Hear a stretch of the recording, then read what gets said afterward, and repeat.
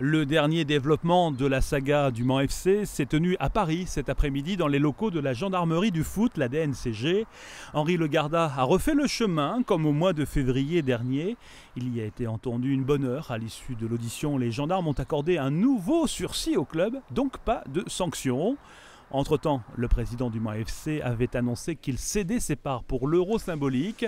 Ce sera au seul repreneur en lice, Claude Hervé, homme d'affaires Manceau, soutenu par un investisseur de poids, le groupe Veolia. Hier soir, ce pool d'investisseurs a fait une offre de reprise qui est pour l'heure rejetée. Concrètement, cette offre présenterait des conditions difficilement acceptables puisque le Garda devrait renoncer à l'idée de récupérer sa mise lorsque le club reviendra à meilleure fortune.